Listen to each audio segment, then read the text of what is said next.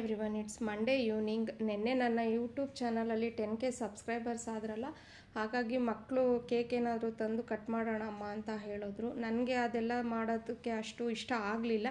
ತಪ್ಪಂತ ಅಲ್ಲ, ಅದೇನೋ ಗೊತ್ತಿಲ್ಲ. ನಾನೇ ಮನೇಲಿ ಏನಾದರೂ ಮಾಡಿಕೊಡೋಣ ಅಂತ ಹೇಳಿ ಅವ್ರಿಗೆ ಹೋಮ್ ಮೇಡ್ ವಾಫಲ್ಸು ಮತ್ತು ಐಸ್ ಕ್ರೀಮ್ ಮಾಡೋಣ ಅಂತ ಅಂದ್ಕೊಂಡೆ ಸೊ ಐಸ್ ಕ್ರೀಮ್ಗೆ ನಾನು ಟೂ ಫಿಫ್ಟಿ ಎಂ ಎಲ್ ಕ್ರೀಮ್ಗೆ ಅರ್ಧ ಟಿನ್ನಷ್ಟು ಕಂಡೆನ್ಸ್ಡ್ ಮಿಲ್ಕು ಮತ್ತು ಎರಡು Oreo biscuit packs ten ten ರುಪೀಸ್ದು ಎರಡು ಬಿಸ್ಕೆಟ್ ಪ್ಯಾಕ್ಸ್ನ ಯೂಸ್ ಮಾಡ್ತಾ ಇದ್ದೀನಿ. ಸೊ ಯೂಶ್ವಲಿ ಪೌಡರ್ ಮಾಡಿ ಹಾಕ್ತಾರೆ ಬಿಸ್ಕೆಟ್ಸ್ನ ಆದರೆ ನಾನು ಸ್ವಲ್ಪ ಕ್ರಂಚಿಯಾಗಿರಲಿ ಅಂತ ಅಂದ್ಬಿಟ್ಟು ಸ್ವಲ್ಪ ಇದು ಮಾಡಿ ಹಾಕಿದ್ದೀನಿ. ಸೊ ಇದಾದಮೇಲೆ ನಾನು ಟೂ ಅವರ್ಸ್ ಇದನ್ನು ಫ್ರೀಸ್ ಮಾಡಬೇಕು. ಅದಾದಮೇಲೆ ಐಸ್ ಕ್ರೀಮ್ ರೆಡಿ ಆಗುತ್ತೆ.